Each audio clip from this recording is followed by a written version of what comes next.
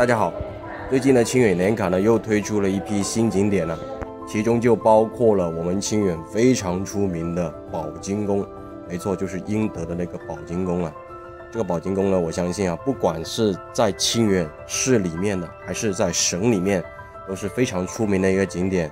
那么不用多说了，现在有差不多到五一了，四方兄呢肯定啊，先带你们一睹为快哈。啊让你们看看我们这个清远宝金宫的美景！如如果你们有时间呢，五一的时候呢，也可以过来这边看看。事不宜迟啊，我们现在就跟着我的脚步哈，来看一下吧。从清远市区到宝金宫呢，大概有九十多公里。我是没有走高速的，但是呢，这条国道啊，其实也很宽敞，平均车速可以到七十啊，基本上一个半小时也到了。清远联卡啊，一年可以到这里玩一次。这个票呢是包括了溶洞还有玻璃桥的，大家画面上看到这个就是玻璃桥。自己开车来这边的话呢，停车费要十五块钱哈，说实在的还是比较贵的哈，这个价格。从售票处到那个溶洞的入口呢，大概也是有五百米左右哈，还是要走一段距离的。如果是带老人过来啊，注意休息哈。不过路上还有可以休息的地方，可以喝口茶什么的哈，还是比较贴心的。那穿过一座桥之后啊，就可以看到溶洞的入口了啊啊，就是穿过这个桥哈，可以看到溶洞的入口啊，有个牌坊啊，就在这里啊，宝金宫。过这个牌坊之后呢，还要走一段石阶路哈，这个梯阶路，大概也就呃一百多级吧啊，还是要有一点体力的啊，来这边玩还是要有体力的。终于看到溶洞的入口了，不容易啊。啊，现在呢，我已经到了这个溶洞的入口这里啊。不过呢，最好啊，来这这里玩的话，最好还是等一下那个讲解员，他一般是十几分钟啊，就有一啊一个讲解员哈，就送一批游客进去。最好是等到有讲解员哈，这样的话能够了解更清楚一些。现在就等一下吧，等个十几分钟。等了十几分钟啊，讲解员终于来了啊。这一团人的话，大概有十个左右哈。啊如果你们五一来的话，可能会更多一些。穿过一个古色古香的走廊之后呢，就可以看到这个溶洞了啊。在溶洞里面呢，你根本就不会感觉到四季的变化的，因为只有一个季节，那就是秋天哈，真的是非常凉快啊。夏天来的话，简直就感觉像是开了空调一样。你们现在看到的这些千奇百怪的石头，啊，基本上都是纯天然的。而且呢，是经过上亿年的纯手工制作啊啊！当然了，这个霸王龙不是啊。在这里呢，真的不得不感叹大自然的鬼斧神工啊！讲解员说呢，你进来这里啊，看到这些石头啊，全凭想象力啊，你想象着它像什么，它就是什么啊，非常主观的。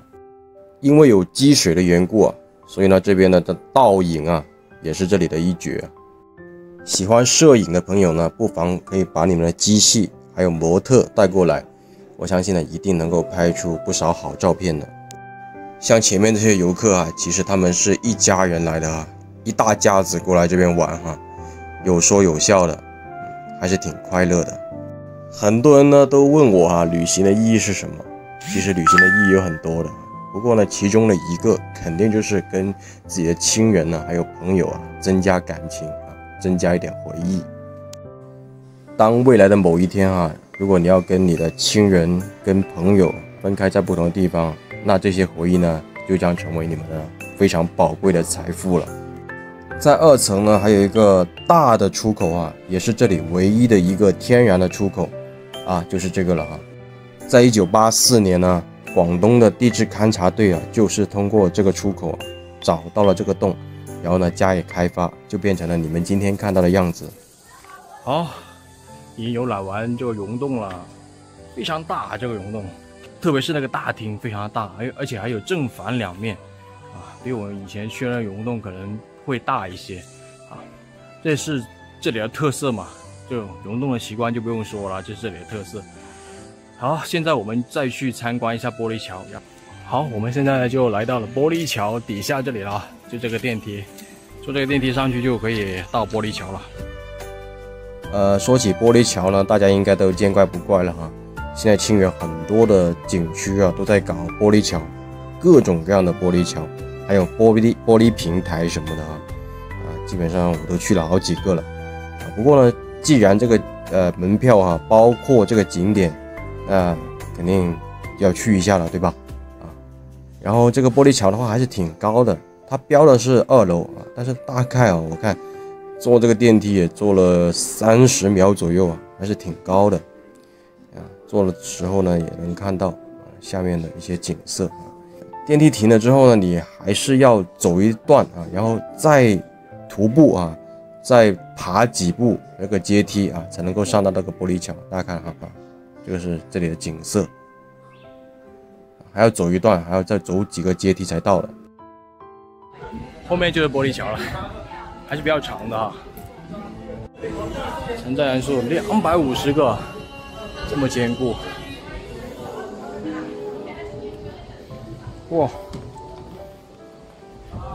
还是相当透明的，位高的朋友啊，还是谨慎一点啊，下面非常透明啊，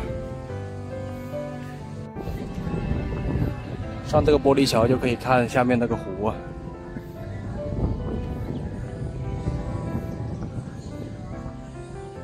啊，这边三百六十度，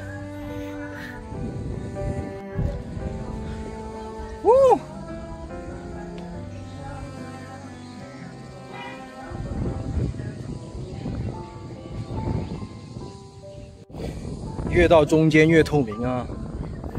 你们敢走玻璃桥吗？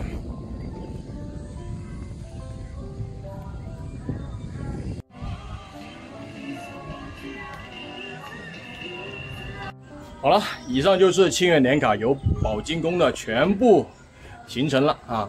你如果你们五一啊拿了年卡过来呢，是可以免费来这边游一次的，但是呢，只能一次哈，一年只能一次啊。五一也是能用的，因为那里没有限制哈。啊，这个景区呢，绝对值得一来啊，特别是一家人一起来，那就最好了啊，可以一起享受天伦之乐嘛。好，我们下期再见喽，拜拜。